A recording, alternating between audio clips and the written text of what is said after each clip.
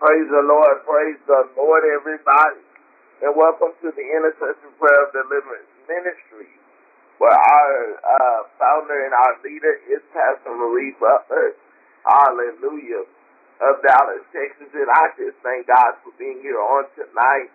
I am Prophet O'Shea Morgan. Hallelujah. Hosting on tonight.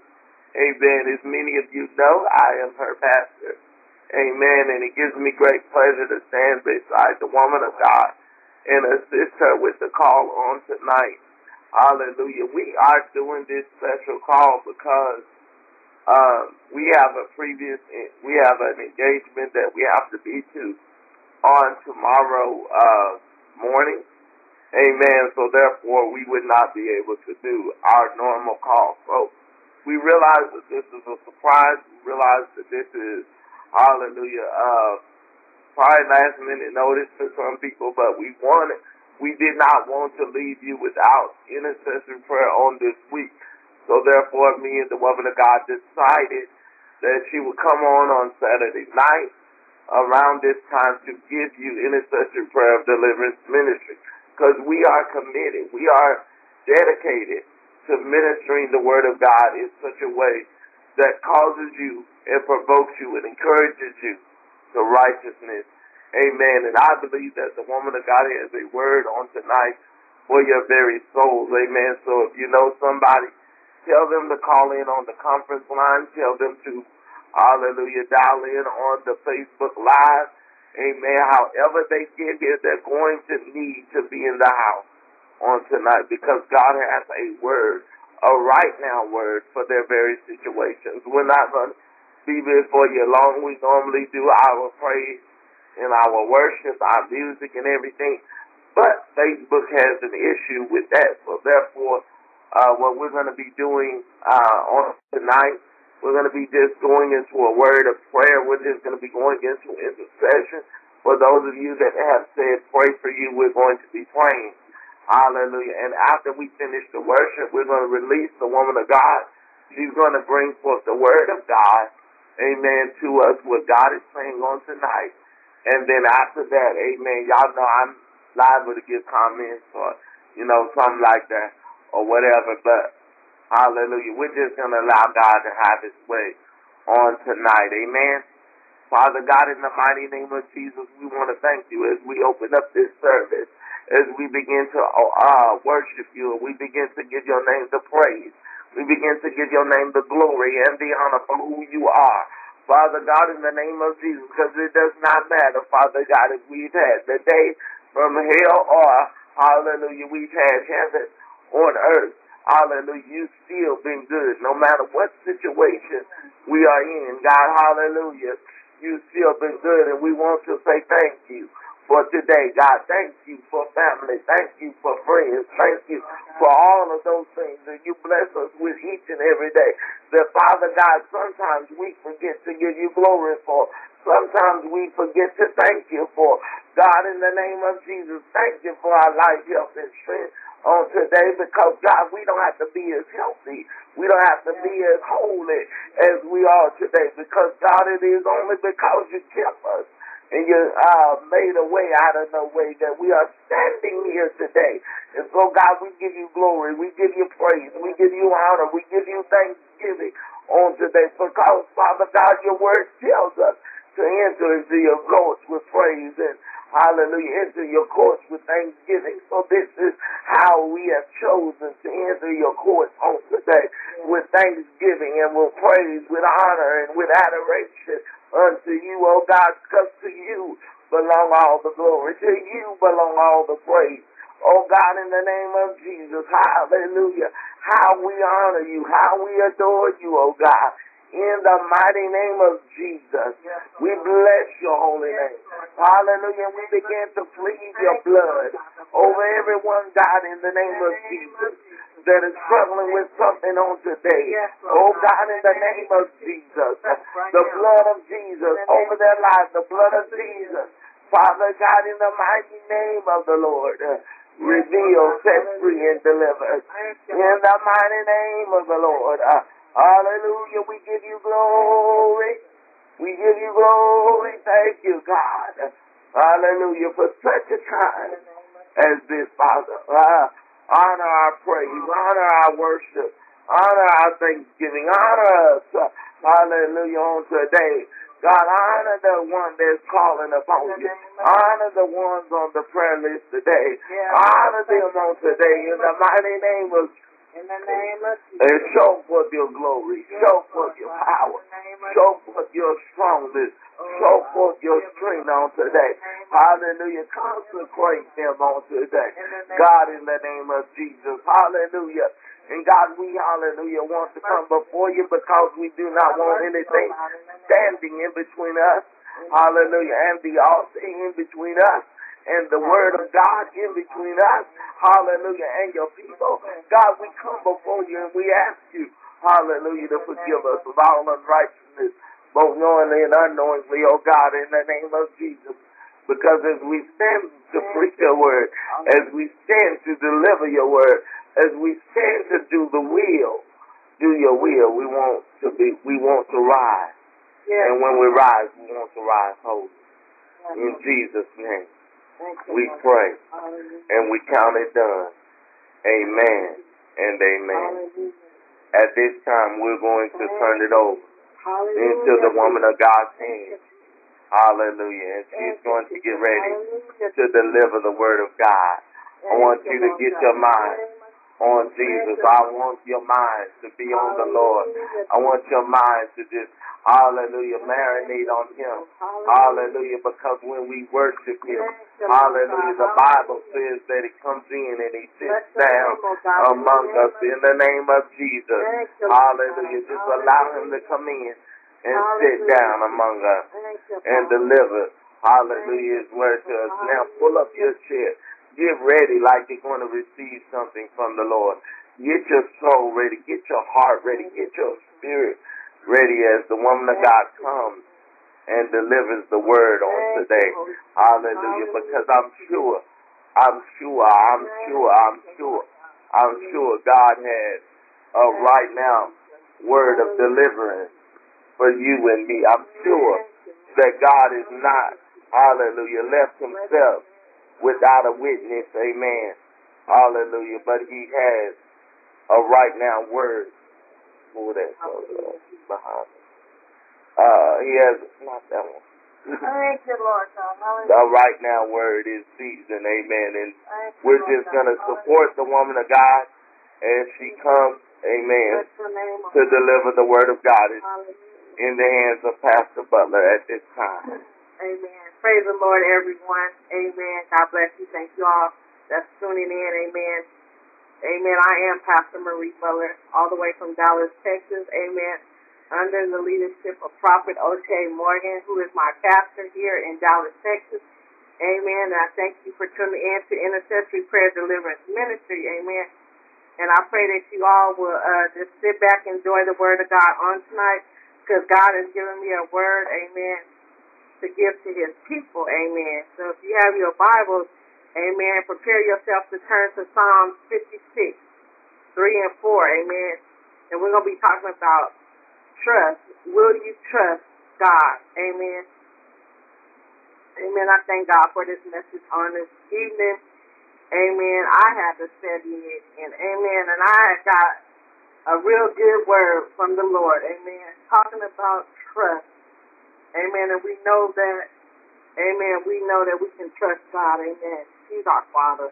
Amen. I just thank God for this lesson on this evening because I sat back and I, I was thinking on trust. Amen. And I, I began to look at a lot of different things. Amen. Even with my leader. Amen. Amen. I trusted him. Amen. How he had walked me through um, getting certain things that I needed. Amen. You know what? I had told him one day that I needed open a checking account, amen. And not even really knowing him all the way, um, as um far as like friendship wise, but you know, even being my leader, we build a relationship. We, you know, our friendship and everything is, you know, grow, amen. And I thank God because He was able to take me to um a bank here in in, in Texas. I'm just gonna give a little paraphrase. Um, here in Texas, and he helped me open a checking account. Now, him being my leader, we're being friends. Amen. I'm being a member of the church. Amen. I trust him. Amen. To take me to this bank, to help me open up a checking account. Amen. I trust him not to do anything shady, not to do anything faulty, you know what I'm saying? But I trust him, you know, to take me here to this uh, bank and to open it, you know, me account here in Dallas, amen, so that I can continue to do my direct deposit for my rent, amen. Now, I'm going to say this in trusting. I trust him because I felt and I knew that he was a true man of God, amen. A lot of times we may not even um, know a certain person, we don't really get to know a person, but then you trust them what are you trusting them with? You can trust people with a lot of things. Amen. I'm talking about in the natural right now. You can trust people to go to the store for you. You can trust people with your money. To, you know, you can tell them, look, hey, I trust you to get the things that I need. I'm giving you this list. This is what I want for say, for say, for say. I want this, this, this. Please get this on the list. So you you go to the store and you send this person to the store with that money. Say you send them with a hundred dollars and you say everything on this list I want, but you're not able to go to the store with them. You're trusting them to go to that store. You're trusting them to get everything on that list that you wanted. Amen. You trust them to bring back your change, your exact change. Amen. You tell them, look, I want the receipt. Amen. So I can see what, you know, I, is everything on the list that I told you to get. You trust them, not really knowing that will they do the right thing or will they do something faulty or something shady Amen. Or run off with your money. Now, in the spiritual, we're going to say, in the spiritual, we're trusting. And it tell us, Amen, Psalm 56, verse 3. When I am afraid, I put my trust in you. Amen. And here letting us know, when we are afraid, I put my trust in you. Amen. So when you are afraid, you putting your trust in God. You're not putting your trust in no man. Amen. Because sometimes when we are afraid, you know, we may run up against situations, um, a circumstance, anything may arise. But you saying, when I am afraid, Lord, I'm going to put my trust in you. Amen. So are you really going to put your trust in God? Well, how do I put my trust in God? I ain't never seen the Lord. I never seen his face. But yet, will you trust him? Even though we never seen him, will you trust him? Will you trust him to care for you? Will you trust him to guide you through your everyday situations? Will you trust him enough to guide you through whatever you're going through in life? Amen. Whatever the circumstances that may arise, whatever the trial and tribulation may come your way, will you trust God? Amen. And so and this, what I'm saying is, you will put your trust in the natural now. Will you put your trust in man? You trust in man. You take your car to the shop. And man, you trust this man to fix your car. You fix the, you trust this man to fix the engine on your car. You trust him to put the right oil in the car. You trust him to do the transmission for you. And you don't even know the, you know, the uh, technician, the car technician person that's working on your car but you trust him. Amen. And so with that being said, and going back to the spiritual, will you trust God? Will you trust him with your finances? Will you trust him with your children? Amen. Will you trust God enough to say, Lord, I put my trust, my kids in your hands. Amen. Sometimes we'll get burned down. Sometimes we don't, we could get so overloaded. We can, you know, be all stressed out and worried, and we don't know what to do. Well, God, what do I do? You know, you call, you, you'll call a friend. You be like, well, you know, let me call Sister Marie. Amen. You want to talk to Sister Marie. Well, Sister Marie, you know, we've been knowing each other a long time. Um, what should I do? You know, I could give you advice, amen. And so, you know, I could be like, well, you know what, you should do this or you should do that. But then it's like you trust me with my information that I'm giving to you. You tell okay, I'm gonna do that because you know what? We've been knowing each other a long time. Amen. Okay, just like you trust me not to give you the um, wrong advice, not to give you um, anything that's going to harm or hurt you. Now, in the same way, in the spiritual, we have to trust God. You have to put your trust in God no matter what. Even trusting in His Word, because in His Word, it's going to tell us everything that we need in the Word of God. It will tell you how to be a good mother, how to be a good father, amen, how to raise your children the right way. Amen. And in the Word of God, it's going to teach us and show us this is what we need to do. This is how you trust in the Lord. Amen. We may look to man a lot of times, you know what I'm saying? We uh, need finances. Amen. The money not coming fast enough. But if you go ahead of God's plan, you're not trusting God. You need to sit down and say, Lord, okay, Lord, you know I need such and such. I need this amount of money for whatever you're trying to get. God can tell you, okay, sit back and wait. Wait on me. Trust me to come through for you. But a lot of times we mess up because we don't want to sit and wait. And we don't want to trust God to step in and intervene for us. Amen. And come in and on, on our behalf and help us. So we rather go ahead of the plan and do it our way. And that's not trusting God. Anytime you step out of the will of God, anytime you go ahead of yourself and don't trust God, you're you're just showing lack of faith. And you're showing lack of trust. It's like you're not saying, Lord, I trust you because you don't went ahead of God. You decide, well, Lord, you're taking too long. Lord, I don't want to wait no more. That's not trusting God.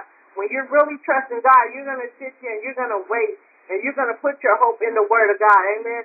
And you're going to wait on the promises of God and what God told you. He said in His Word right here, He said, when I'm afraid, I put my trust in you, in God, whose Word I praise. In God I trust and am not afraid. So are you really going to put your trust in God, in His Word? It says, wait upon the Lord and be of good courage. Amen. When He wants us to wait on Him, He wants us to trust in Him. Trust in the Word of God, knowing that the Word of God is not going to lie to us. Amen. God is a man that He should never lie. He would never lie to us. Amen. He would never renege on us. Amen. But a lot of times we don't want to sit there and we don't want to read the Word of God to find out really what does God want us to trust in Him. Are we going to really trust in Him to say, Lord, I trust you for this deal that's coming up, and I don't even have the finances. Lord, I trust you no matter what it looks like, the situation is coming up. Lord, I'm going through this trial, I'm going through this tribulation. Why do I keep going through this? What does God want you to get out of this? God wants you to trust Him to the point where, you know what? You don't have to call your friends. You don't have to call the next sister. You don't have to call the next brother but you're going to trust God. Sit there. Wait on God to come through for you. Trust Him just as if you would trust the next person to go, um, like I said, to the store for you. You, you trust people.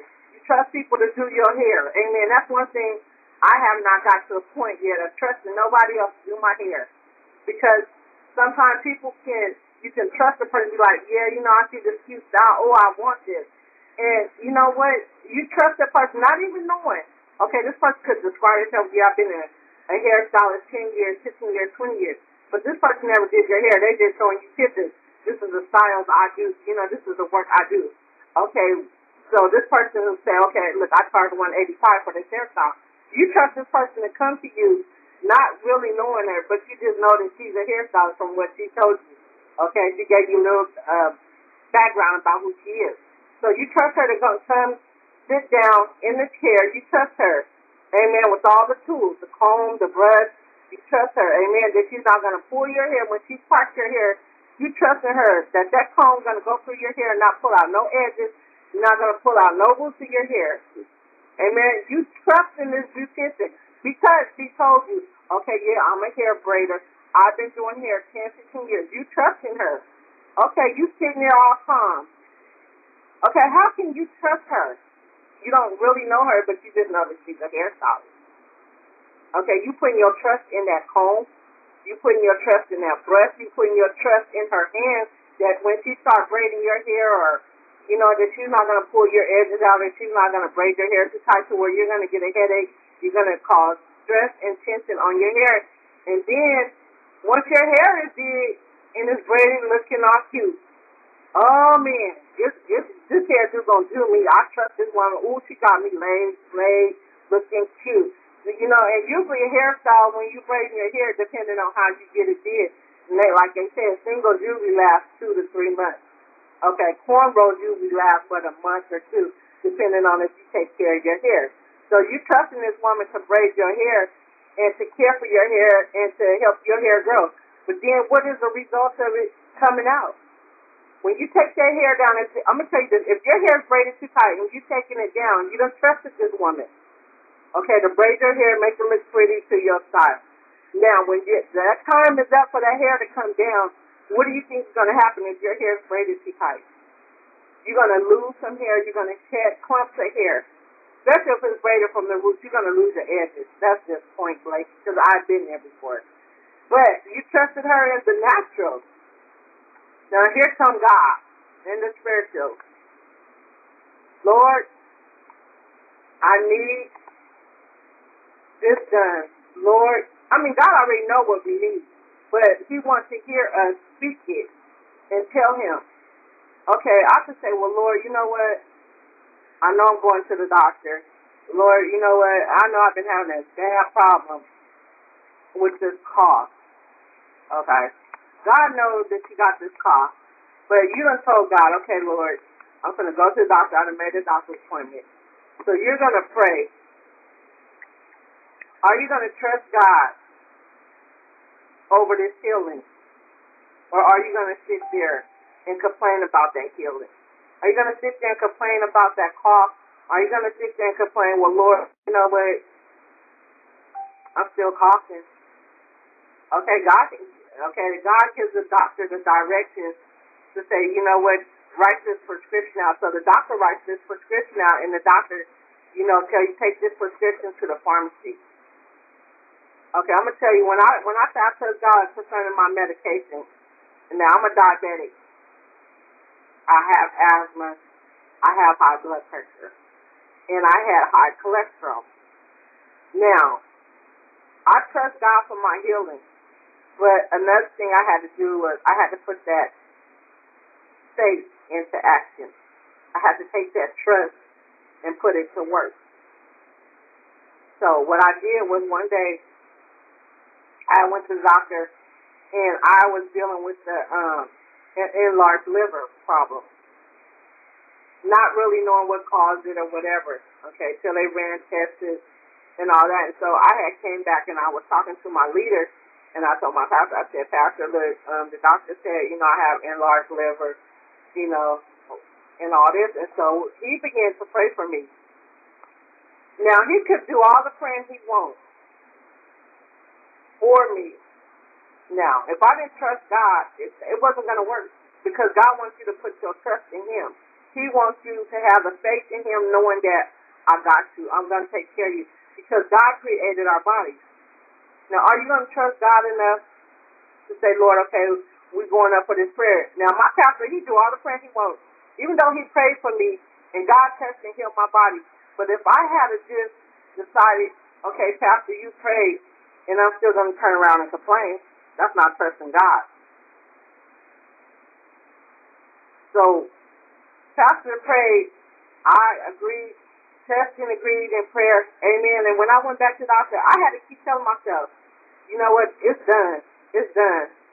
We claim that this enlarged liver is it's not going to be there. When I go back to the doctor, I'm going to have a great report.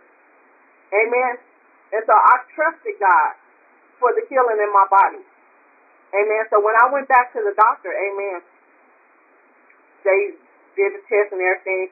They said, I don't see no enlarged liver. We don't see nowhere where your liver is enlarged. I was like, what? They did ultrasound and everything. So I came back, gave my testimony. I think I posted it on Facebook, my testimony and everything about how my pastor prayed for me. Amen. But you know what? You have to trust God to the point to to where you know what you're not going to sit there and worry about it. When you start worrying, that's not trusting God at all. But trusting God without a shadow of doubt, it's already done. Amen. I don't need God to come down here and stand in front of me in order for me to trust Him uh, for uh, knowing that my rent's going to be paid next month. I don't need God to come down here and say, "Well, Marie, I'm right here. Are you going to trust me?" Amen. It's just every day that I'm I, I, God allowed me to wake up. Amen. Every day that I have a breath to breathe, amen, he's breathing through me. Amen. He's protecting me. He's keeping me covered in his blood. Amen. I trust God. Amen. No matter what. Amen. I don't even have the finances that I wish I, I had. But I trust God for what I do have. Amen. And I work with what I do have. Amen. And a lot of times, you know, I I'll be sitting here and I'll be just listening to my pastor a lot, you know, man, um, because of what he does as not just being my leader, but you know, being my friend, amen. And I see how he is a busy person, and I'll be wondering, I'm like, sometimes, how do you up with this? How do you do this? But I I know without a shadow of doubt, and I'm not just saying this because we're in a relationship or or I've been knowing him or whatever. I know he trusts God. Just the way his life is, his life. I look at his life, how he lived his life. Amen. I know he trusts God. Because, you know what, for somebody to have finances like this, and then we all have, I mean, everybody, you know, got bills. But if you can still pay your bills and, and you broke and you be like, you know what, I trust God. God's going to do this. I don't know where it's coming from, but God's going to do it and it comes through. You're not sitting there, you're not complaining. And just like the Bible tells us, do all things without murmuring and complaining, that we may be harmless and blameless sons of God. Amen. So you're going to either trust God to work on your behalf. Amen. You're going to trust God to work out that situation. Amen. Even trusting God, even in ministry. Amen. Even with members. We don't always have the members that we want a lot of people want thousands and thousands of members. Amen. We want the finest decorated bathrooms. Amen. But I mean, things are not going to come to us when we're complaining. Amen. We sitting back moping, complaining. Get up and do something about it. Amen. I have to get up and do something. You know, when you want your deliverance, what are you going to do? You can't just sit there and say, Lord, I want to be delivered from drinking. Lord, I want to sit there. You know what I'm saying? You just sitting there, Lord, I want to be delivered from drinking. Well, what are you going to do? Are you going to get up? Are you going to make the necessary changes? Amen. You done spoken, you done told God, but are you going to trust God to bring forth that deliverance in your life? Or are you just going to go ahead of the process and say, you know what? I'm not going to wait for God to come through with bring my deliverance from me drinking or bring my deliverance from me smoking. I'm going to just go ahead and do it myself. You know what I'm saying? I'm going to just go to AAA. Now, you go to AAA, they're going to give you the, whatever they use to help you stop the cravings of drinking, stop the cravings of smoking. But if you had a waited on God and trust God, you wouldn't have to go through all the necessary classes and, and taking notes and all that. Because your trust, no matter what it looks like, no matter what you go through when you're because when you're addiction, you trust God. Because I had to, even when I was cracked out on when I smoking crack cocaine, I was addicted. Now I could have trusted that crack cocaine enough to the point to where, okay, I'm gonna keep doing this. I'm gonna get off one day. Okay, I'm gonna just cold turkey cut one day. I'm gonna just quit. Or I could just go to God, say, Lord, you know I have this addiction. Lord, I need to quit. Lord, I want to quit but I got to put my trust in you. I got to believe that you will come through, that you will bring forth my deliverance. I had to trust God. Now, I don't, I had never seen the Lord now, never seen His face, but I trust Him and I know He's my Father. He takes good care of me.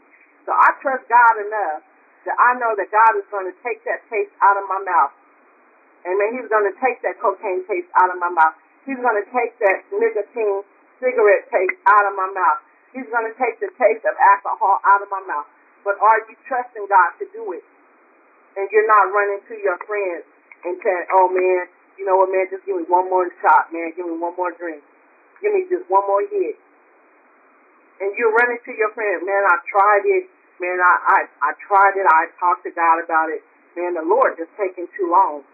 And I and sometimes I hear that people say God takes too long. Man, I can't wait on God. He's taking too long. But the longer the Lord takes, amen, it's a it's a reason for him taking as long as he takes. But that's not waiting on God and that's not trusting God. Anytime you want to be in a rush to something, you're not trusting the process and you're not waiting on the process. You have to wait on the process. Amen. You have to wait on God.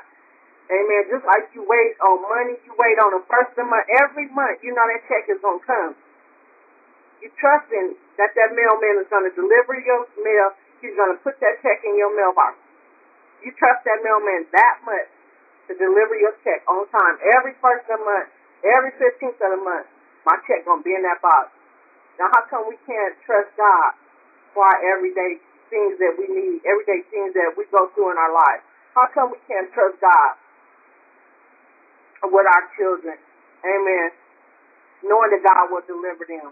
Amen. Knowing that God will save them. Trust God. You know, I I got to the point that I was I was tired as a mom, amen, and uh taking care of my kids, you know, they grown, everything, kids being at home. I got tired. I said, Lord, you know, I can't do this no more. I trust you, and I'm going to put these kids in your hands. Amen. I had to do that because if I wouldn't have did that, I would have been stressed out. I said, Lord, I don't even know how I'm going day by day. I don't know how I'm going to do it day by day. But I trust you, God. I trust you're going to take care of my kids. I trust you, God, that you're going to protect my children. Amen. And I thank God to this day, out of five kids, four is all four working, got their own place, doing good taking care of their business, got a job, raising their children. I trust God. Amen. I trust God to take care of my kids. You know, because they in His hands. And, you know, we got to trust God no matter what it looks like, no matter what the circumstances is. Amen. I trust God. I even trust God as a leader. Amen. God trusts us as leaders to lead His people. Amen. And just like um, Job, his wife wanted him to curse God and die. Even though Job went through what he went through, the sickness, the boils and all that, losing all that he had, Job still trusted God. Amen. And I'm just saying today, I don't know who this is for. You know, you you, you seem like as if nothing's working for you. I, I'm doing this. I'm trying this. I'm raising my kids by myself. But are you trusting God to help you raise your kids? Are you trusting God for the job that you need? You, you like, Lord, I'm going through this. It's like the third job interview I went through. I'm applying for jobs over and over and over. It seems like nothing's coming through. But God wants you to trust Him. Put your trust in Him. Amen. Hold on to the Word of God. Get in the Word of God. Begin to read the Word of God for yourself. Amen. Well, a lot of people don't like to trust nothing if they don't see it with the natural eye. I gotta see this thing. Just like you go to Target, you if somebody said told you about a product, you know, to get. Well, okay, I'm gonna go to Target. You know, I gotta see for myself. So the only way you're gonna trust is that you see it. But what about when you can't see it? You can't see how the money's gonna come through for the bills. You can't see how the finances are, are going to come in next week. But will you trust God to meet the everyday needs? Will you trust God for your finances, for your family, for your marriage? Will you trust God for that wife? Amen. Will you trust God for that husband? Amen. And not going ahead of the process, not jumping on a dating line. Amen. That's not trusting God. If you if you don't trust God for a, a husband or a wife, he didn't tell you to go jump on no dating site. Amen. And so, you know, I was talking to one of my friends and stuff, and she was like, man, girl, ooh, I can't wait till I get a man. Ooh, I just can't wait. I said, you ain't supposed to be looking for no man. The Bible didn't tell us to look for no man. The Bible said a man that finds a wife finds a good thing. He didn't say a wife that finds a husband finds a good thing. And she said, oh, yeah, you know what? You're right, Sister Marie. You're right. I said, yeah, so, you know, I said, in the process of that, let's learn how to wait on God. We can, you know, I know it sometimes it gets hard and we get impatient, but we got to wait on God for our, you know, our mate. Amen. And, and just looking at the process, just trust God. Just like you trust God. Amen. When you get up in the morning, you get yourself dressed. You trust God, you know, to direct your everyday life. Amen. Just like you put your trust in in your boyfriend when you're dating, you trust that that man's gonna treat you right. You trust that that man is gonna take care of you.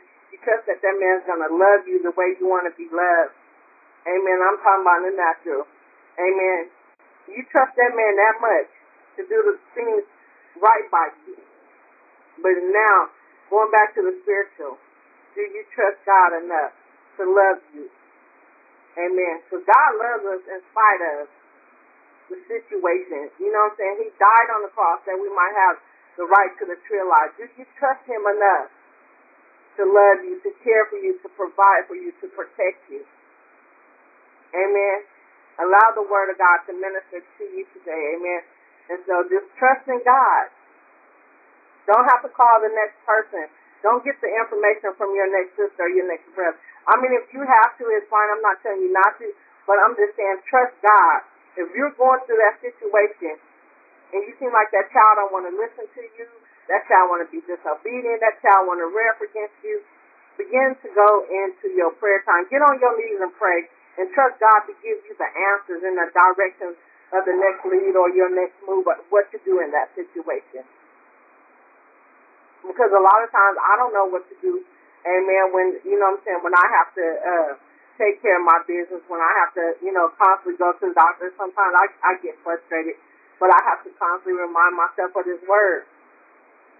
When I'm afraid, I will put my trust in God. Sometimes it do get scary. Sometimes we do get afraid. But are we going to put our trust in God? Amen. So I thank God for this word on tonight. Amen. And I pray that you have received something from what has went forth. Amen. On tonight. Amen. Just put your trust in God. And there's no age limit. Amen. There's no set time. All God wants us to do is trust Him. Amen. So I pray that everything that I said was a word to help you throughout this week. Amen. And at this time, I'm going to turn you back into the hands of my pastor, Prophet Ote Morgan. God bless you all. Amen. Amen. Will you trust God? Hallelujah. The main word here is trust. Will we trust God? You know, I just got out of the word today. Will we trust God? It says, when I am afraid, I will put my trust in you in God. I will praise His. I will praise His word. In God, I will put my trust. I will not be afraid. What can flesh do to me? Hallelujah. So then, it's telling us to trust God. The key word here is trust. When I am afraid, I'm going to lean on God. I'm not going to lean on my own understanding. I'm not going to lean on anything else but God. Even when I have to rebuke somebody, even when I have to do something that I think that nobody's going to like, or I think that, hallelujah, is going to take uh, me away from the purpose, take me away from uh, people. I'm going to just trust in God. And uh, I'm going to be scared as I'll get out, but I'm going to trust in God, and I'm not going to let people know I'm afraid. You're going to say, oh, it looked like he was bold. Oh, it looked like he was this. But I'm not going to let you know that I'm afraid because in that moment, in that season, I'm trusting God. I don't know if I should be married, but guess what? I'm going to jump in and trust God. I don't know if this man has all the answers or you know, this person has all the answers, but my trust ain't in him. My trust is in God. My trust ain't in him to make me happy. My trust ain't in her to make me happy. My trust is in God. I'm going to trust that God says that you need to do this for your husband. You need to do that for your wife. You need to do that. I'm going to trust God to speak to them to let them know how to minister to me. Hallelujah. Hallelujah. When we are afraid, I don't know what the outcome of this doctor's report report is going to be, but I'm going to trust in God. I'm going to put my trust in God, and I'm going to praise His word. So then I'm going to also, while I'm sitting there waiting on the on the report, while I'm sitting there waiting on the thing that I'm afraid of, what I'm going to do is just give God praise, give God glory, and say, Hallelujah! I've never seen the righteous forsake nor their seed begging bread. Thank you, Lord, for that. Thank you, Lord, for that word. Thank you, Lord. Hallelujah. That you always cause me to triumph. Thank you, Lord, for that. I'm going to be praising His word. In God, I will put my trust. In God, I will put my trust. I'm not trusting you. I'm not trusting the situation. I'm not trusting friends. I'm not trusting. Why? Why won't you trust a friend? Why won't you trust a neighbor? Why won't you trust somebody? Because the Bible tells me, hallelujah, hallelujah, put your trust in God. It says, all other ground is sinking sand. So therefore, I don't need to trust you no way. Because God already told me you was going to sink. God already told me you wasn't going to come through. God already told me you couldn't be my all in all. I have to trust in God and in his righteousness. And I got to trust that he knows, like David said, he knows the way that I take. And when he has tried me, I shall come forth as pure gold. I got to trust him. I got to, I got to trust that he says, I will never leave you, thou, nor forsake you. And then he says, if I make my bed in hell, thou art there. So then no matter where I go, he's still there. He loves, he's so committed to me. He so loves me that he, if I make my bed in hell, he said, we, we'll be chilling in hell together. he loves me so much. And so I don't go nowhere alone. And I don't trust in anybody. Why do you go out at night? Why do you do this? Why do you do that? I, without fear, because I trust him. People tell me you shouldn't go out at night. You shouldn't. I'm not afraid of man. I live and I feel one person, and that's God. And when men try to uh, don't go out at night, don't don't do this, they try to take because that's because you fear man. When I am afraid, I'm going to put my trust in God, not security at the church. When I am afraid, I'm going to put my trust in God that, that what's happening in the churches today, that might happen at that church, that might happen somewhere else, but I'm going to trust my God that it ain't going to happen here. Oh, God. And if they do, I will be ready. I'm gonna praise you because you keep protection over me. I'm a, I, I'm a, I, I'm gonna praise you because His banner is over me, and and that He said I'm gonna praise Him in His word. God, I just give you praise. God, I just give you glory. Hallelujah. Because your Bible, your word says, if I dash my foot against the stone, you will give your angels charge over me. So that means if somebody is in this church with a gun, at that moment you will give your angels charge over me. And see, this issue of trust is why I begin to rebuke the body of Christ. Because we got guns, we got security, we got all this, and say we trust God. And, and you say, well, I got to do it to protect the flock. That ain't what God told you to do. God said, when you are afraid, I will put my trust in God. And I'm going to praise His word. I'm going to praise. I'm going to magnify. I'm going to glorify God in His word. And I'm going to put my trust in Him. I will not be afraid. What can flesh? Watch this. What can flesh do to me? what can flesh do to me? What can a man with an AR-15 do to me? When my hope is built on nothing less than Jesus' blood, His righteousness, I dare not trust the sweetest, the sweetest frame, but wholly lean on Jesus' name. What can He do? He can make me glad either way. Glad I stayed or glad I left. Because to be absent from the body is to be present with the Lord. So what can you do?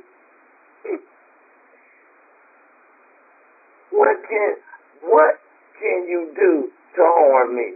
Because the Bible lets me know if God be for me, then who can be against me?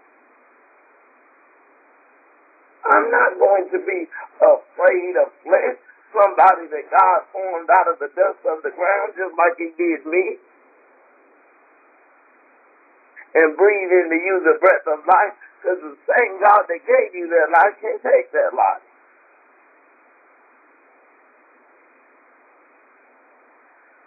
I'm not going to be afraid of you.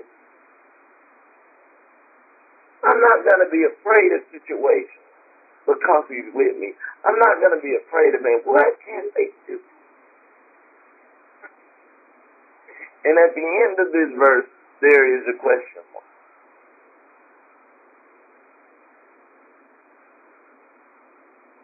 What can they do to you? When you trust God.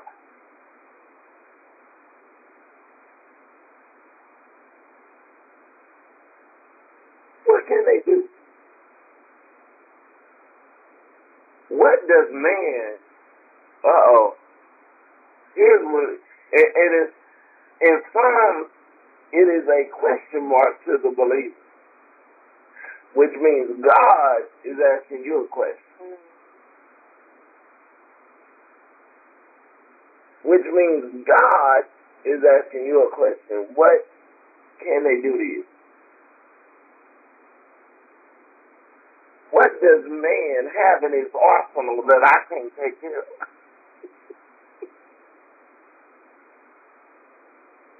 when you praise in my word, when you put your trust in me, what does man have that I don't? we ought to think about this. We got to think about this word. What does man have? What can flesh do?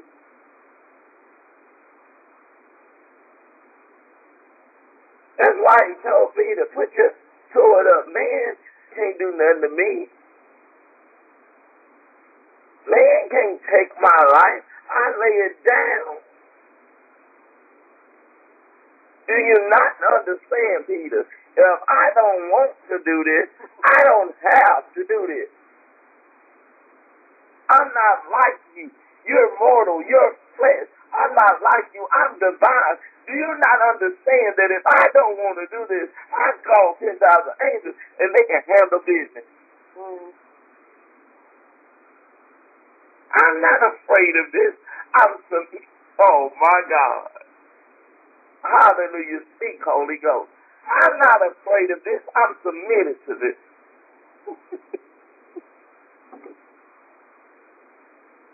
this is not my fear. You have not reached the place where you need, where Peter, you need to protect me.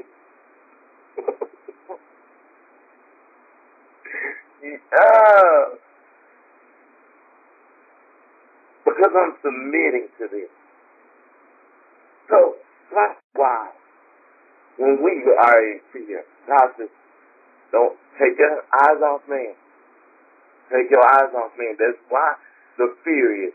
Because you're looking at the gun, you're looking at the AR-15, you're looking at everybody running everywhere, you're looking at, I'll take this into that secret place, into that place of prayer, into that place of, of, of, of, of worship with me, to where all times, all people, all everything cease to be, and you're elevated to the worship of God.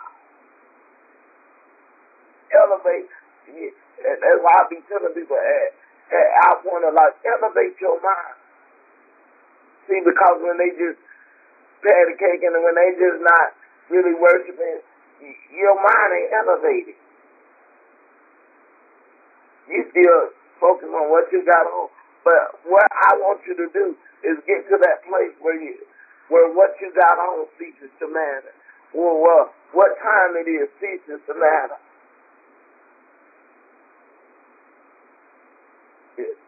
Get in that place with God to where there's, because up in that place there's no fear. Up in that place there's, there's complete dependency on God. Up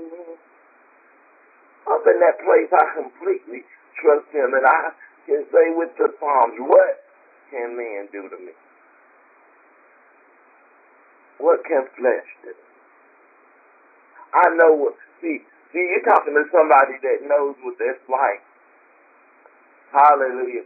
Went through abuse with my ex-wife and hallelujah. We had one night where I was getting on her about the cleanliness of the house and how the house needed to be clean and this needed to be done and this needed to be done and she proceeded to throw things and uh, uh you know, kicked me to the floor and, and, and I just began to pray. And I began to speak in tongues and, and, and, and while I began to pray and while I began to speak in tongues and while I began to just, hallelujah, go into the presence of God. Hallelujah. She was stomping me. She was saying things to me. She was actually taking her foot and stomping me and kicking me. But but I got into that place with the Lord where I wasn't fearful. I wasn't none of that. He got to that place where I couldn't even feel her. I couldn't feel nothing she was doing. I was in that in that moment I didn't even hear what she was saying. I was in that I was in a trance with the Lord, just in that place with the Lord. Then she threw threw my Bible down after me. I was just in that place with the Lord. And that's what it, when you are afraid, when scary situations come, I don't want you to look at the situation. I want you to keep looking at me. I, I don't want you to look at the circumstance. I want you to keep looking at me. I want you to, I want you to say, Lord, I know you're going to bring me out of this because you love me. I want you to say, Lord, I know this is going to be all right because you, if anything was going to harm me, you wouldn't let me go through it. You love me. You have an everlasting love for me. You said I'm the apple of your eye. So God, I'm going to trust you, even though I'm afraid of what they're going to do. Even though I'm afraid, I'm going to trust you because I know if I don't know nothing else in this situation, I know that you love me. So you know what? I'm going to take my eyes off that. I'm going to take my eyes off the surgery. I'm going to take my eyes off the needle. I'm going to take my eyes off the gun. I'm going to take my eyes off this. I'm going to take my eyes off the news. Oh my God. Sometimes, yeah, it's good to be informed by the news, but sometimes the news can do, do nothing but fill you with fear. I don't I don't watch the news. Me and Pastor Butler, we don't watch the news. And man, that's the first thing I started teaching her. We, in this ministry, we don't watch the news. Well, Pastor, you got to know anything that's going on detrimental. We need to know. Say, I'm sure somebody on Facebook gonna tell you. But we not gonna sit up there and, and, and, and watch folks whose job it is to put fear in you. And Pastor, how come you got so much faith? How come you just got this and you just trust the Lord? You just because I don't watch news. Something that that the news I see it, the news I see it is an enemy to my faith. Amen. It's an enemy to my trust in God. Hallelujah even when I'm trusting God and believing God for something, and somebody says, well, you know, with what you got, you ought to have this, and I, I put them out now, get out. But why I got to get out? Because you're talking that fear and unbelief. You're an enemy to what I'm believing. Oh my God. You're an enemy to my trust. You're getting me to look at something else other than God. Well, you know, Dr. I, I don't care what Dr. I says. You're an enemy to my faith. So either you're going to have to start talking right or you're going to have to get out of my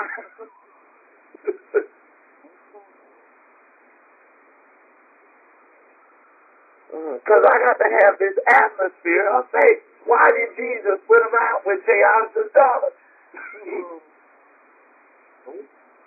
You're an enemy to what we're trying to do here. And if you don't believe, it's best for you. Don't believe, it's gotta believe. Mm. And that don't mean that you gotta leave the house. That don't mean you got. You just gotta leave me. You just gotta stop talking to me because I don't want to hear your doubt and unbelief. I don't want that to creep in my spirit, get in my spirit. All of a sudden, I'm believing God for healing. And I ain't can't have that. That's why I tell people, I tell people, if you're going through a life-threatening illness, something like cancer or diabetes or something like that, you need to have people with faith around you. That's right. Don't have people playing, you know, don't tell people you got cancer and all this stuff, and then they start planning your funeral right in your face. No, get out my house. Get, get out. I'm working on something. Because I'm not working on dying, I'm working on living. I'm not working on dying, I'm working on living. And then, then, uh, this is for the, those of you caretakers that got this dealing with cancer and stuff. Learn how to put your family members out. Somebody said, what did he say in Jesus' name? Learn how to put them out. No, get out of this room with mama. Mama's going through enough. Mama's going through cancer. Mama's going through chemo. Mama, mama don't need y'all fighting over family dinner and, and who gonna keep who. She doesn't need all of that tension in her atmosphere. Get out of here. Cause I'm working on mama staying here. And mama not gonna stay here with y'all fighting all the time around her. Mama not gonna stay here with y'all doing bickering and all of the stuff y'all was doing, doing, doing around her. No, get out. And don't come back till you got some faith. And don't come back until y'all can bring the, the spirit, love, joy, peace, all. Don't come back. Oh, who do you think you are? I'm the one working on Mama's here. They don't even let you fight in the hospital around sick people.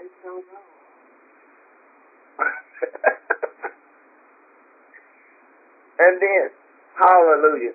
I'm trying to teach y'all how to trust in God and how to just, you know, have that trust in God. Then don't tell them bad news. Mama died, this one died, that one died. They don't need to know who died. Not while they working uh, uh, on, on the uh, on the healing. I don't even like for folks to tell me. I tell them I got some oh yeah, child. Child, when I had that, I was in the hospital and I suffered. I don't want to hear that. If you didn't survive, shut up.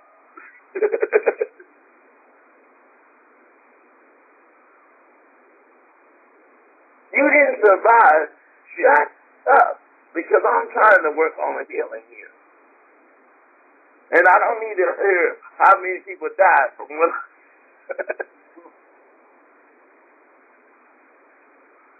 I'm already afraid. I'm already trying to put my trust in God. I'm already trying to praise His word. And you coming in, well, your son's gonna die with it. Do you not know that can contaminate my trust? Contaminate my faith? Know how well, some folks say, you know, I was all right, so I talked to them.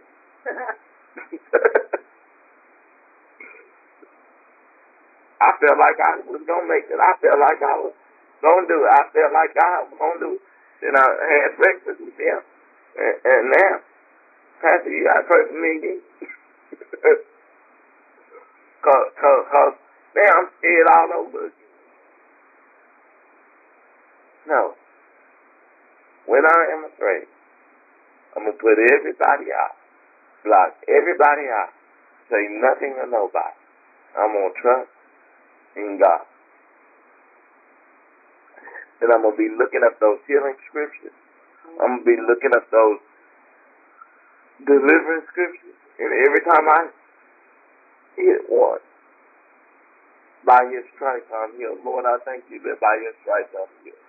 Lord, I thank you. Lord, I thank you. Lord, I thank you. Lord, hallelujah.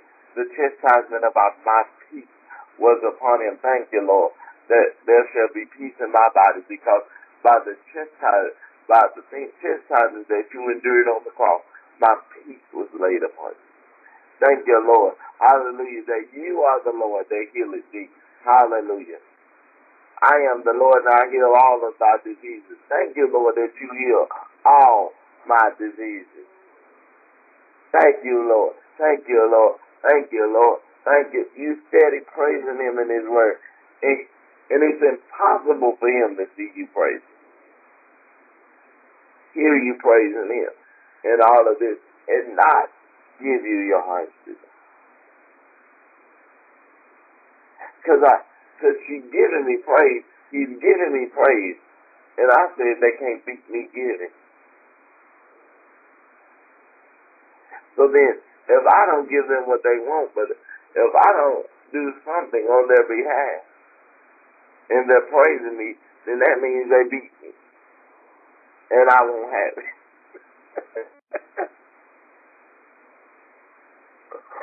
Oh my God. Hallelujah.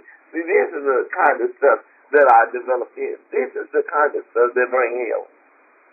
And then the Bible says when you pray, believe you receive. Don't believe what they say. Believe God. When the woman of God was sick, I told her, you believe God? I asked her, you believe God or you believe the doctor? Because if you believe that, if you believe the doctor, I'm going home. You believe God or you believe the doctor? I believe God. Okay, we gonna pray. Pastor came back and my li- my liver's all right. You but and same thing with everything else. Uh, she had high blood pressure. You're all right. Come on. You believe God or you believe the devil? You believe it's the doctor. I believe God. Okay, well, going to pray. Fast my blood pressure down. All right. I mean, there's all kind of things going on in her body. You believe God or you believe the doctor? I believe God. Okay, let's pray. Then the woman God, she got sick one night with a cold. And she called me. She said, I'm just really tired of being sick. And I really want to be healed. And I really, see what she's saying now. I said, uh, you already know my question. you already know my question. Do you really want to be here? Yes, Pastor, I want to be here. You believe God? Or you believe the doctor? you believe God? Or you believe that medicine? I believe God. All right, I'm going to come over and pray. I got the friends, he got the cough and stuff up. And you stay away from me. No, you said you believe God. You say you believe God, so you confident and you're doing all this because he's doing just what he Within a day or two, she was, look, I feel so much better. I'm, I'm healed. I'm all right. Because that's what God want to know. In every situation, I know you're scared. I know situations are crazy, but do you trust me? Because I can work with you if you trust me. I can I can do the impossible if you trust me. I, I can work a miracle if you trust me. But the reason why I went to my own hometown and they say that Jesus could do not no not many miracles there because they didn't trust. They were still looking at him as Mary's boy. Uh, I know they call him uh, over there on the mother in the motherland. They call him Jesus or something, you know. But they're they're still Mary's boy. You know, you know. I know where he went to school at.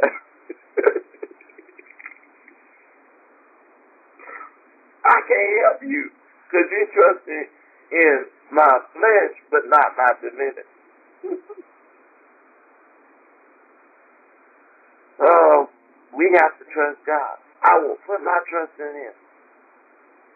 That's why I say, hallelujah, as I close. That's why I say that I want to fight. I don't care how big we get. I don't care how big we get. We will never have security. You will never be searched at the door. You'll never be asked for somebody to look in your bag. And if somebody do look in your bag, you tell me and I am. But that mean they scared. And I can't have no scared people at the door. Oh my God. When we are afraid, when there's trouble all over us, I'm going to put my trust in God. I'm going to praise Him in His Word. I'm going to put my trust. I'm going to put my trust in Him. I'm not going to be afraid. But I'm going to ask myself this question before I give up my faith and, and let my fear take over. What can flesh do to me that God can? I truly, I believe God. Why you just gonna let them come in there? Why you just gonna let them come in there without checking the bag and strip search and all of this? And you ain't gonna get security and you ain't gonna secure the house of. Simply because I believe that God is the only one that secures house of God. I believe there's a, enough Holy Ghost power in the house that God give us divine insight. God give us divine revelation. Somebody here with the wrong motive. Somebody here to shoot somebody. Somebody here to do this. Somebody here to do that. And he interrupt service and go focus on that one person. Mm-hmm. but see, when you have a leader that is led on education but not spirit led, they can't. They don't hear God say stop. And then you, and then also you got to let your prophets go for. You got prophets in the house. Prophets ought to be able to see that. That's right. Okay. You pick come up, come up there and interrupt the pastor. God, God show me that brother dealing with something. God show me that. Let's deal with it. Well, but it's time to preach. It is time for Sister Rucker to sing her song. I don't care. I have to ensure and I have to protect the house of God. And how I'm going to protect the house of God is getting the divine revelation, wisdom, prophetic insight from the prophets and the people of God. But see, we pastors don't let prophets go forth no more. They don't let prophets unless you schedule the priest. They don't let you stand up in the middle of service and, and go forth. And that's how come they can't protect nobody.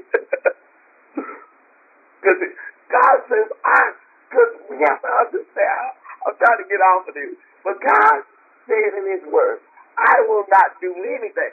I will not let anything happen unless I first reveal it to my servant, the what? Prophet.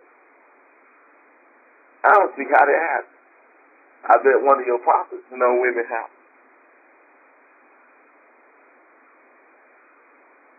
Let the prophets go free. Let then even the intercessors, your intercessors speak up. Ah, Pastor, I don't know what this is, but when we were praying this morning and walked around the church, the Lord showed us gun smoke. Okay, where, where, where, where, where, where, where? Well, Pastor, it's time for you to preach. I think you about to lay. No, you're going to tell me right now. and we gonna handle it, it, it okay. In the spirit. Cause mother, you know, that then we didn't call them intercessors and prophets, baby. we call them church mothers. And mother would mother if you look sketchy, mother would drag you to the altar. We got to get back to letting our prophets go forth. Because the prophets, see, they not there as a trophy just to look good. See something. The, we came up with the new terminology, prophet. But do you know what they were called back, way, way back in the Bible days? They were called seers. So we got to have security, you know, to watch while we pray. God said, I already gave you somebody to watch while you pray.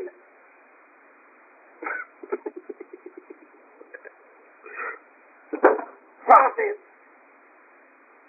prophets, pray with your eyes open. Pray with the understanding of the Spirit.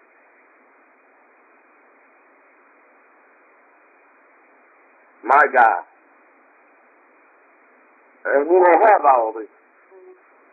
Because the prophet come back you what kind of did it about you? On kind of Mm, you sata. Hallelujah. We'll come by you and uh, let's escort you to the door. Well, why am I going to the door? Prophet, see something.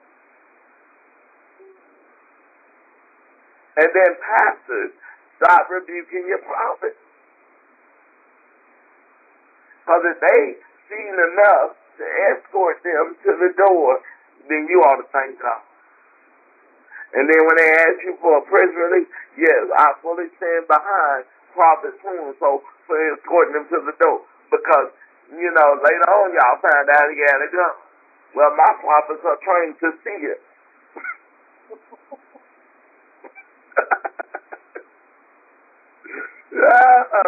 my, my intercessors ain't, ain't just people that walk around the church and make a whole bunch of noise. They see stuff. They train to go deep in the spirit. They just like they pastor. Hallelujah. One of the things Pastor uh, uh, Pastor Butler and people keep saying, whenever sometimes God pick me up in the spirit and I just go, go, go, go, go, go, go, go. And I just go and they say, we never saw a pastor that go that deep and go at a prayer like that. I never seen nobody pray like that.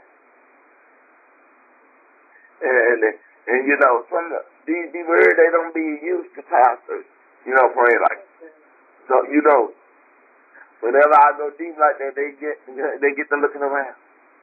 What's going on?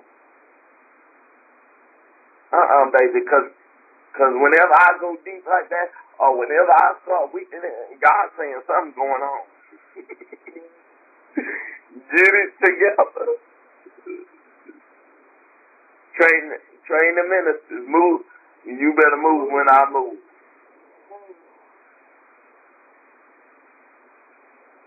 Move when I move.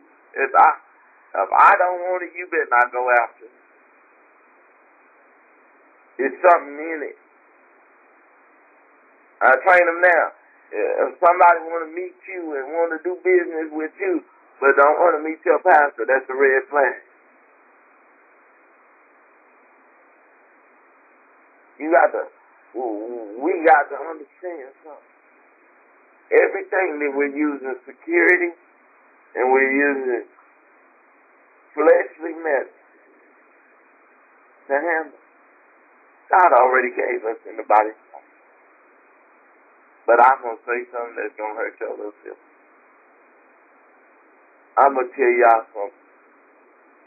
But you know why? You know why we, why now we have to go to fleshly medicine? And we have to go to, you know, the way of the world to protect the church. Ready? One, two, three. We no longer believe the Holy Ghost. We no longer have discernment. We no longer, we, our services are, we are so structured on everything being in the order we set that we, we gotta have security now because prophets can't just get up and interrupt service like these.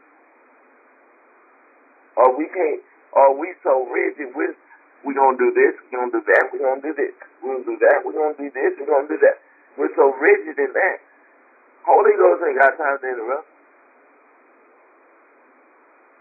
And tell you, somebody is in the in the congregation with a gun, and you need to be a, you need to focus directly on him. And you and the ministers, I know you getting ready to preach, but stop.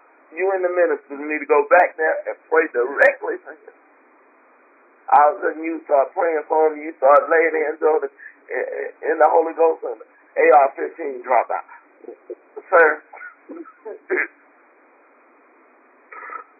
led by the Spirit, and then you know what? The scary thing about him, we better get back to being led by the Spirit, because guess what?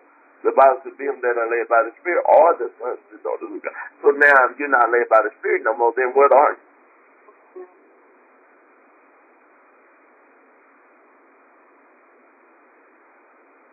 We have we don't have spiritual discernment no more. That's why the world has it instead of God. We don't have the Holy Ghost no more. That's why the if you got a demon or we we'll send you off with a Christian counsel. We we just gonna get you some counseling and get no, we gonna cast the devil up out of you. That's what's wrong with these user friendly churches. they have no spirit. They got a lot of people, but they ain't real spiritual.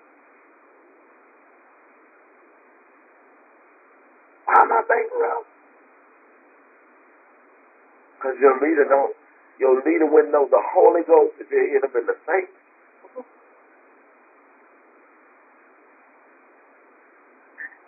And then well, you can tell because when folks get out of control and when the spirit really gets to moving, let's just move on. And come on, come on, come on, come on. Let's just move. No, let's stay here. Obviously, the Holy Spirit wants us here, so let's stay here.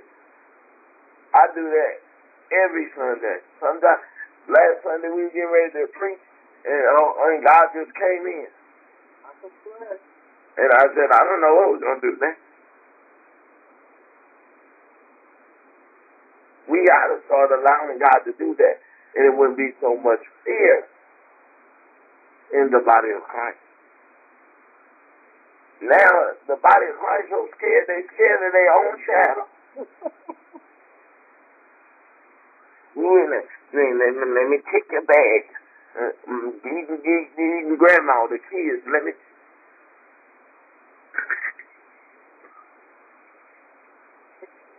And I and I told and I told Pastor Miller, I said, let me tell you something. I said, I'm not trying to make light. I'm not trying to make light of the people that died in church shoes. I said, but do you? I, I told I and she she done watched it with. I said, watch it every couple of years, and gonna be a church shoe. And we've been knowing each other a couple of years. And then, then it, she said, Pastor, you said every couple of years going to be a church shoot. It is because you know what? I, I told her like that. I said, the devil is proving we don't really trust God. He, he calling our bluff. I will trust in the Lord. I will trust in the Lord. I will trust in the Lord. watch still right? what if that's in the next 15 minutes? I will. hey, is he back there with that. Y'all, I got to go. Wait, wait, keep on saying it. Will. No, mm-mm. I got to protect my life. I'm gonna sail the battle. And you know what? The enemy tries us every day and says, Y'all lying. That's just a song. When you can get there, I'm gonna treat everybody right. Uh-huh. I'm gonna you didn't even speak to me when you came. These are just songs. And, and, and that's what the deal is. These just songs, just a cute little thing. I mean, and, and, and I don't know. As I'm gonna try to close again, I don't know. But going to church, for me, going to church the way it is now, it just, it's just not the same anymore. For me. Because, and you know why I feel that it's not the same anymore, but I feel that it's not the same anymore. Because I feel that everything we've said, we've lied about. I feel like we're all liars. Even the sermons we preach, the the songs we sing, everything is a, just a lie. And we always want to call Satan a lie. No, you lie too. Because you said you trust.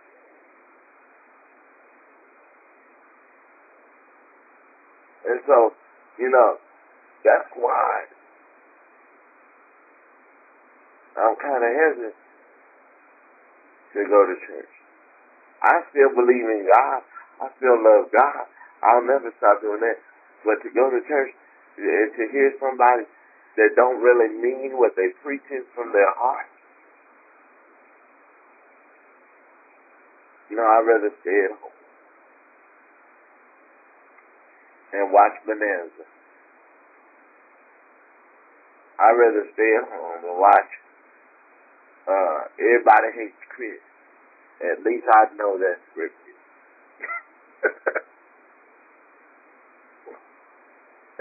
I'd rather stay at home and watch a show where they get paid to act like they believe that stuff. I want to go to a church where the man of God really believes, the woman of God really believes what she preaches. And you can see it around, all around the whole church. They don't got security because they know God is there. They don't got counselors because they believe in casting out demons. They got, they don't got all of that stuff because they know who God really is. I go, I want to go full gospel holy temple. They, they ain't got no security. I've been before. They, big as they are, they don't have security. You know why?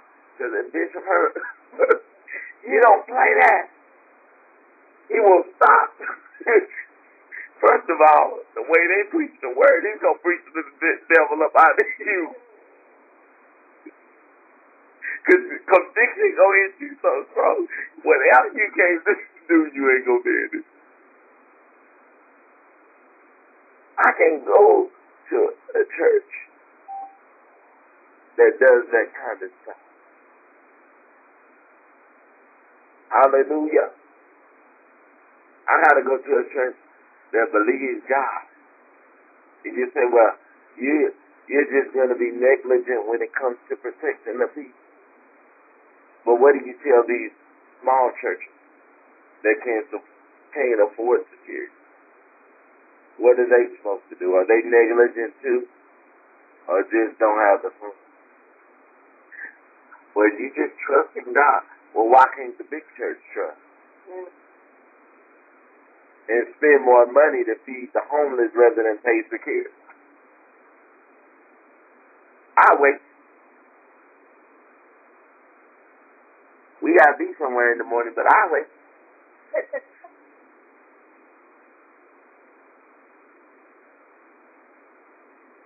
we got to get back to real trust in God. And if you and if you're not there, don't preach it. If you're not there, skip that song.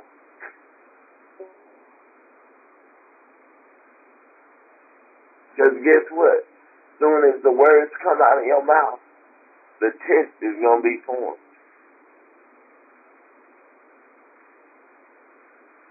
to see if you really do. I'm. It is my third close. I want to tell you this, Joe. There was a church that was praying, you know. They were praying, they were binding the devil. I mean, they was just mm, going in on the devil. And the devil showed up at the church. and everybody ran for the door. Everybody ran for the door. And except this one man was standing there. And he stayed at the altar and he was still praying, still going in about the devil. And, they, and the devil said, all the other Christians are wrong. Why aren't you running? the uh, man looked at the devil in his face. Said, I've been married to your sister for years.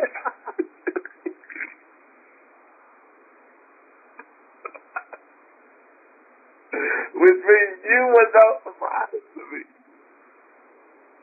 He wasn't a, the point is, he wasn't afraid.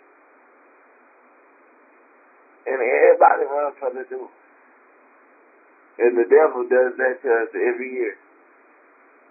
Every couple of years.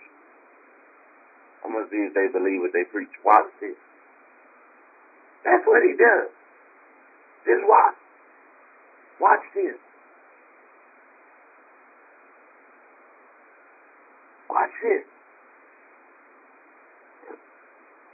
Now you can look how they kill me. How they be killing me, though. You don't want to be going out at night. Yeah, they they gonna kill you. They they they do this and they prone to violence. And that's all fear talking. That ain't you trying to protect me. That's fear talking. And that's that's a ram I don't live in. And so a lot of times I done been went to the store at night and ministered to drunks, homeless people on the sidewalk. Now, there are times when I say, there are times when I say it now, because when God says you say you ought to, don't be stupid. Okay? We talking about trust, and we talking about putting our faith in God, but you know, there's also something called stupid. You know, don't, don't, don't, don't put God's protection to the test. But when you feel like I need to go, or uh, there's a desire in you to go, is somebody waiting on you. Well, it's dark outside, and you know I don't travel at dark. Shut your fear down and go. Oh my God. Hallelujah. Praise God. I I just kind of get fired up on these prayer calls and things like this because I want the body of Christ Let's just stop being fake. If we're not going to be real, let's close the Bible, close the church, and go home. And fornicating, lie, steal, commit adultery, do all of this stuff that the world is doing. Let's just do it. If we're not going to believe this, then let's just. Why? Why beat your body and make your flesh obey it and do all this? You don't believe it no way. Because you don't live and you don't talk and you don't walk like you believe.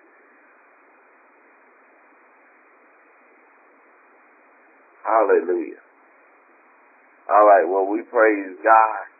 Hallelujah. Thank God for the word on tonight. Thank God for the word within the word. Amen. On tonight, I, I, I listen. I'm not just trying.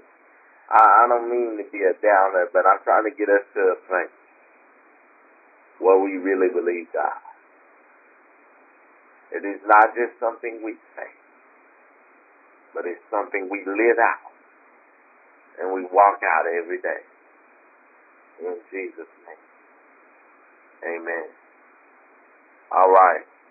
Hallelujah. Go in grace and in the knowledge of our Lord and Savior, Jesus Christ. Bye bye.